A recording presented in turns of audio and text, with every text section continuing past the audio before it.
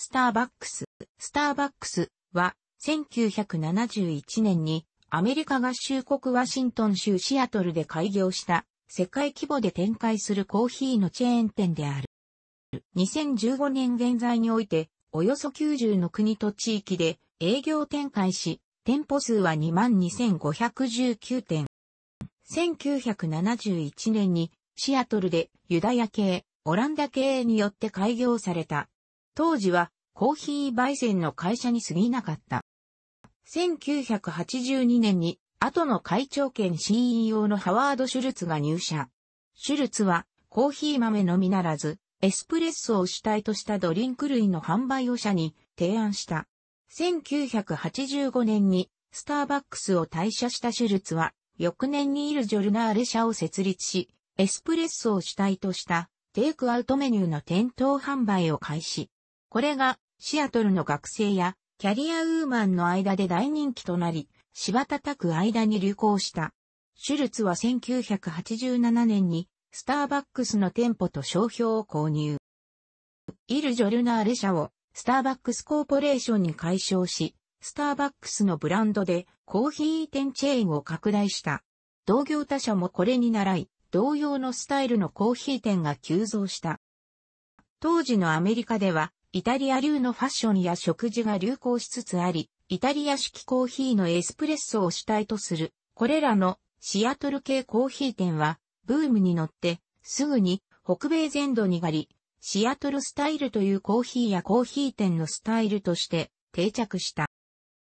店名の由来は、第一候補だったハーマン・メルビルの小説、白芸に登場する、捕鯨船ピークオド号の名を退け、副長のスターバック一等公開し、とシアトル近くのレーニア山にあった、スーボ、採掘場から取られた。日本では、スタバとも略される。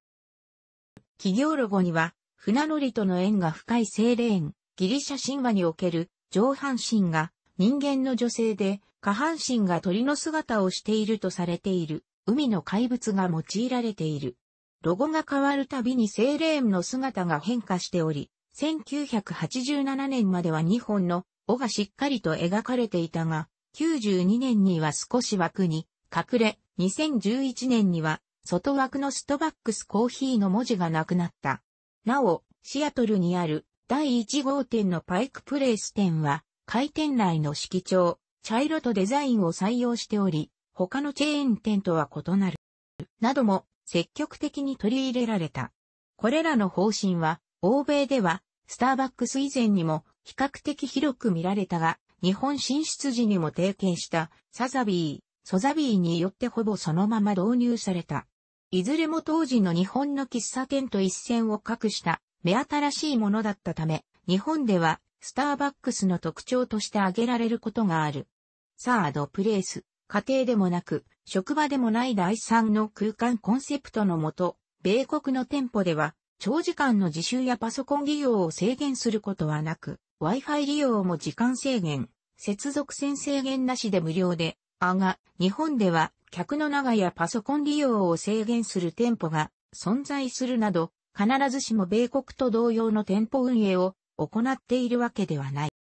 店内の家具は本社が家具メーカーに特注したものであり、市販はされていない。なお、二人用の丸テーブルの表面にはチェスボードのマス目が描かれており、店員に頼めば、チェスの駒を貸してもらえるサービスがある。日本では、非実施。ただし近年では、無地のテーブルに置き換え、マットタイプのバンとシリコン製の駒の貸し出しに変えた店舗も多い。米国の店舗には SSID、オット Wi-Fi、または Google、SSID、Google スターバックスの公衆無線 LAN アクセスポイントが設置されており、Wi-Fi が無料で利用できる。ダイニングエリアのコンセントは、ノートブックパソコンの利用や、携帯電話の充電用に開放されている。日本でも2009年12月より NTT ブロードバンドプラットフォームと提携し、大都市圏の店舗かアクセスポイントの設置を開始、2010年12月までに全国の店舗に設置を行う予定で、これにより NTT 東日本のフレッツスポットと NTT ドコモの無寸、現、ドコモ Wi-Fi による公衆無線、LN サービスが利用可能となる。また、2010年6月からは、ソフトバンクモバイル、ソフトバンクテレコムと共同で、ソフトバンク Wi-Fi スポットの運用を開始、順次全国展開する予定となっている。世界産業労働組合に加盟するがある。カリフォルニア州のサンディエゴ郡裁判所は、バリスタに支払われたチップの一部が、シフトスーパーバイザー、交代勤務監督にも渡っているのは違法だとして、スターバックスに対して約1億ドルを10万人のバリスタに返還するよう命じている。同様の訴訟は他の州でも起こされている。2009年7月、テキサス州エルパソで採用した身長の低い従業員が研修3日で解雇された。この従業員は業務で椅子か小型の脚立の使用を申し出たものの、会社側はこれを拒否して解雇した。2011年5月、米国連邦政府の雇用機会監視監督機関である雇用機会均等委員会 EEOC は障害を持つ従業員に対して相応の便宜を図ることを拒んだとしてテキサス州西部地区連邦地方裁判所に同社における差別禁止ポリシーの確立と解雇された従業員に対する給与及び懲罰的損害、賠償金の支払いを求めて提訴した。2011年8月16日、スターバックスは7万5千ドルを解雇した元従業員に支払うこと、及び障害者雇用についての改善策を取ることに同意した。1992年、平成4年12月、新東京国際空港、現、成田国際空港、第2ターミナルの制限区域内に、米大手ホテルチェーン、マリオットインターナショナルなどが出資したフードコート内の店舗して開業したが、わずか9ヶ月で撤退している。1995年、平成7年10月、株式会社サザビーがアメリカ、スターバックスコーヒーインターナショナル、インクとの合弁にて、スターバックスコーヒージャパン株式会社を設立。サザビー社長、鈴木陸さんの兄である、角田裕二が代表取締役社長に就任。1996年、平成8年8月2日、東京都銀座に北米地区以外では初めてとなる日本1号店を出店。チェーン店ながらも洗練された店内、おしゃれなメニュー品目、欧風のオープンテラスの併設などから大きな人気を呼んだ。当時の日本の喫茶店としては珍しく、店内を全面禁煙にしていたことも特徴である。喫煙する客のために屋外のオープンテラスは喫煙化としている。特に女性層を中心に好評を呼び、日本のカフェブームが進むきっかけとなった。2003年、平成15年4月、茨城県森屋敷焼台のショッピングセンター声優学士にドライブスルーを併設した日本国内初の店舗を開設、米国では1994年頃から出店している。郊外店舗を中心に増やし、2008年、平成20年3月現在で53店舗を展開している。2006年、平成18年7月31日、千代田区霞が関の経済産業省内に出店。中央省庁への初出店となった。市ヶ谷本村町の防衛省庁舎構成棟にも店舗があり、出店時の契約により、ほとんどの商品が定価の1割引きで提供される。職員や出入り業者はもちろん、防衛省見学コースの参加者も利用できる。なお、両店とも店舗検索には掲載されていない。2008年、平成20年3月、茨城県つくば市の筑波大学中央図書館、エントランスホールに店舗を開設。日本の大学の付属図書館に専門店が設置されるのは初めてである。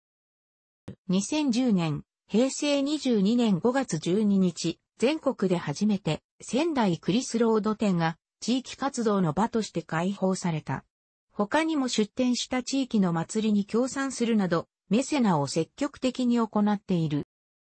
通常の店舗だけでなく、医療施設内にも出店が見られる。2009年、平成21年時点では、一般病院内に3店、大学病院に23店を出店している。これらの多くは患者や見舞い客のみならず、一般客も集客できる立地にあることが多い。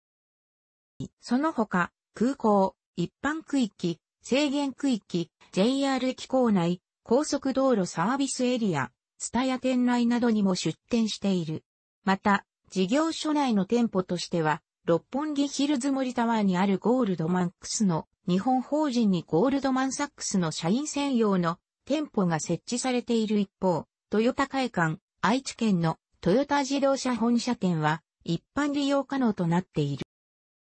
2013年3月、渋谷区千駄ヶ谷から品川区上大崎、新目黒東急ビルに日本法人の本社を移転している。旧本社は6階建てだったのに対して、新本社は4階建てまでのフロアで延べ床面積が1.5倍ある。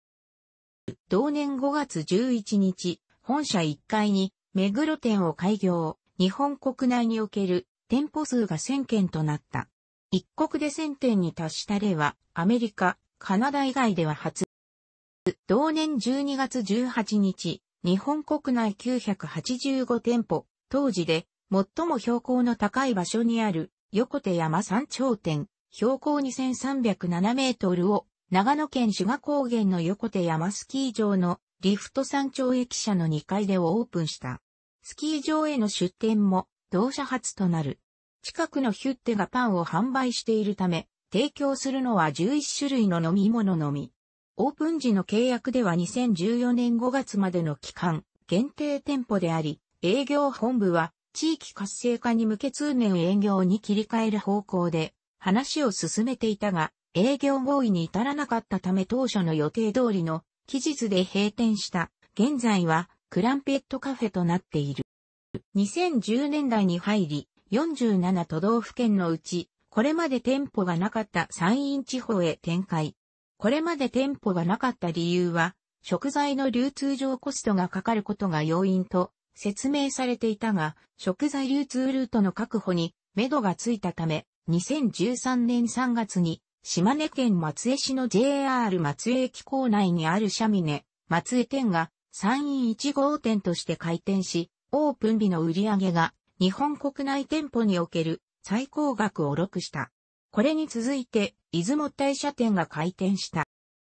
島根県への出店により、鳥取県が唯一出店のない県となったが、鳥取県にも鳥取駅南口への出店が検討されていると報道された。2015年4月22日の正式発表を経て2015年5月23日にシャミネ鳥取店をオープンし、1996年の日本1号店開店以来およそ19年で全47都道府県に店舗が展開された。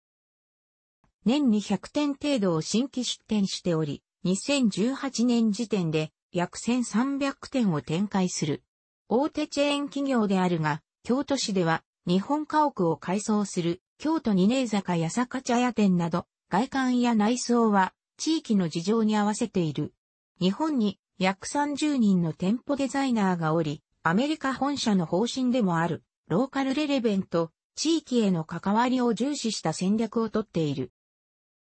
2014年9月23日、米国時間、スターバックスコーポレーションは、スターバックスコーヒージャパンを完全子会社化することを発表。日本における合弁相手であるサザビーリーグは、同社が保有するスターバックスジャパン株式の全部につき、公開買い付けに応じることに合意した。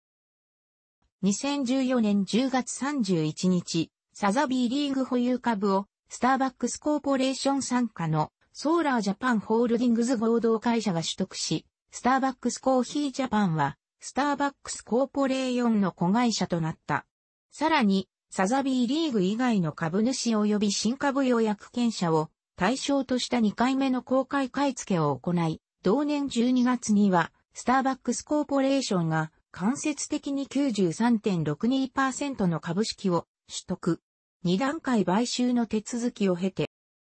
2015年3月26日をもって、スターバックスコーポレーションは、スターバックスコーヒージャパンを完全子会社化した。イギリスやアジア各地にも店舗を展開し、2005年現在30カ国に上る。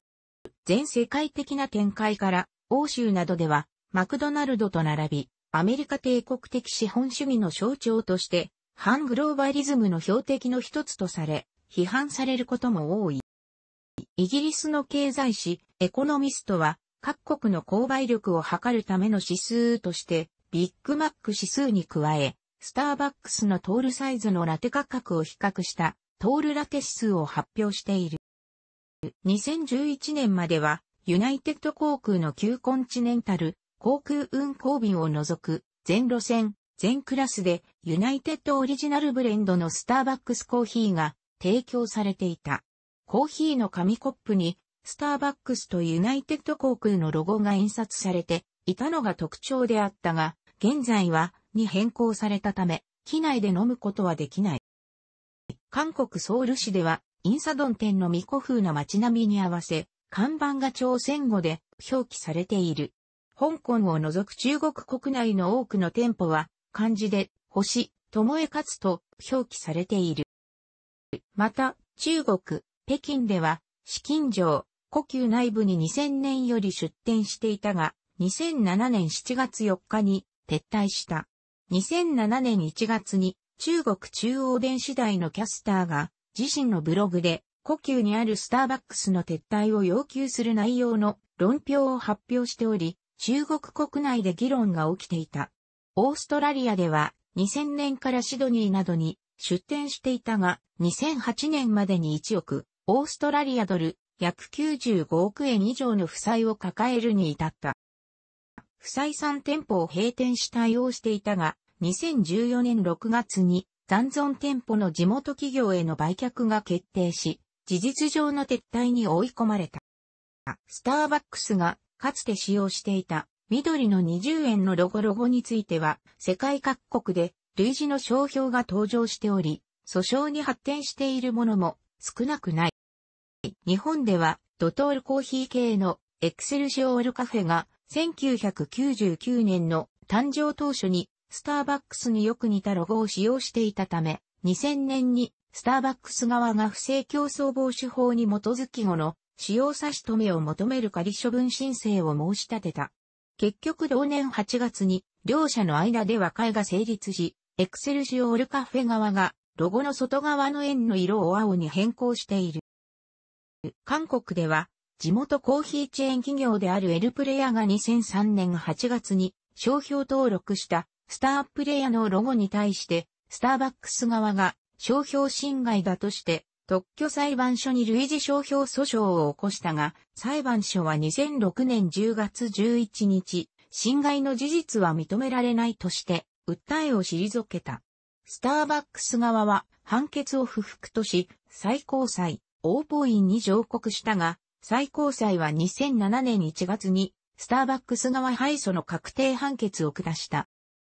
同様の裁判は、上海でも行われている。スターバックスは、同社の中国5名、星、友江勝也ロゴなどを真似たとして、上海でコーヒー店を展開していた地元業者を商標権の侵害で告訴した。スターバックスは2005年に下級審で勝訴したものの、地元業者はこれを不服とし、日本での最高裁にあたる上海市、高級人民法院に上訴。高級人民法院は商標権侵害を認め、スターバックス側の勝訴が確定した。なおスターバックスでは2011年1月に外側の帯及び社名の文字表記を廃止、もともと内側にあった女性像を拡大した新たなロゴマークを発表。同年3月から順次導入を始めている。これは今後、スターバックスの名前でコーヒー以外の商品を提供していく可能性があることが主な理由だが、古くからのファンからは批判も出た。発行国内のスターバックス全店で使えるプリペイドカードギフトカードである。他国の店舗での互換性はなく、それぞれ発行国店舗のみでの利用となる。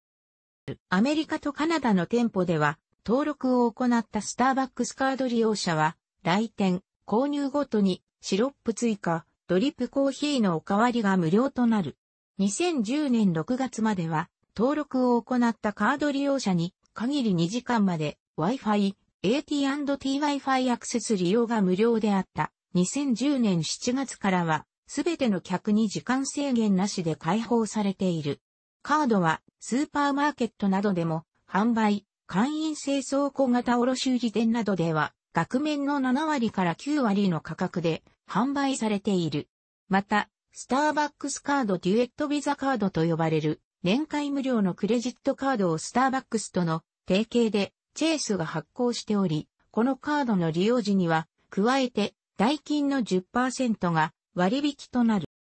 イギリスの店舗でも同様にオンラインで登録を行ったカード利用者は店舗内の公衆無線 LAN BTE をペンゾネが制限なしに利用でき、シロップなどのオプションは過剰でない限りすべて無料にる。上、スターバックスカードでドリンクを購入すると、ドリンク単体の割引が受けられる。また、フィルターコーヒー、トールサイズが1ポンドになるなど、この場合のオプションも無料、スターバックスカードのサービスは、世界でも北米と並ぶトップレベルである。日本では、現金、または、クレジットカードによる1000円以上の入金で発行でき、繰り返しチャージが可能である。プレミアムや増量、Wi-Fi などのサービスは、一切つかず、小銭が不要である。キャッシュカード決済の手間がないという利点のみである。ただし、キャンペーン期間中に5000円以上のチャージで、ドリンク無料チケットがもらえるなどの特典はある。残高は、店頭やスターバックスカードサポートセンター、ウェブサイトで確認でき、同時に利用期限が更新される。金額の増減を伴わなくとも3年の有効期限が延長される。2012年6月6日以降、有効期限は廃止され、無期限となっている。絵柄は年々変更され、期間限定タイプや検証で当たるタイプなどもある。こういった限定の絵柄はオークションでも高価で取引されている。また、贈呈用としてカードを収める封筒もある。カードのタイプはデニーズと同じタイプであるが、デニーズでは利用できない逆も同様。日本を含めたほとんどが磁気カードだが、台湾のみ IC カードである。台湾では同じ統一企業グループが経営するセブンイレブンで発行されている iCash と同じタイプだが、セブンイレブンでは利用できない。逆に、セブンイレブンで発行された iCash 2.0カードは同店舗で使用可能である。スターバックスジャパン公式モバイルアプリ内でスターバックスカードを発行、またはプラスチック製カードの取り込みが可能で、お財布携帯対応機種であれば、お店に設置されているリーにかざすことで代金の支払い、カードへのチャージが可能となっている。Apple Pay には対応していないため、iPhone 環境下で使用する際は画面にバーコードを表示することで同様に支払い、チャージが行える。タンブラーと同様、地域限定のデザインカードも発行されている。楽しくご覧になりましたら、購読と良いです。クリックしてください。